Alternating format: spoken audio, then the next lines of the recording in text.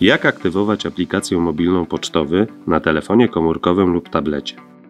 Pobierz aplikację z Google Play lub Apple Store i otwórz ją na swoim urządzeniu. Przygotuj ośmiocyfrowy numer klienta i u dołu ekranu naciśnij Aktywuj aplikację. Następnie wpisz numer klienta i naciśnij Dalej. Otrzymasz SMS-em ośmiocyfrowy kod.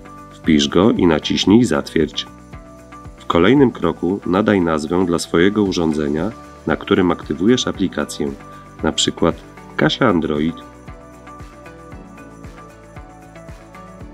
By dokończyć aktywację, zaloguj się do nowej bankowości internetowej na online.pocztowy.pl.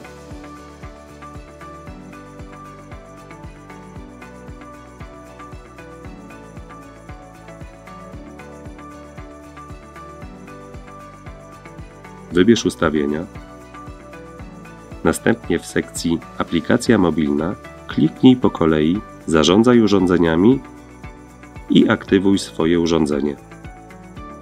Następnie nadaj PIN zawierający od 5 do 8 cyfr, wpisując go dwukrotnie w odpowiednich polach i kliknij Zapisz.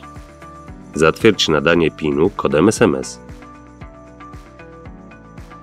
Gratulujemy! Zakończyłeś aktywację. Cieszymy się, że dołączyłeś do grona klientów korzystających z aplikacji mobilnej pocztowy.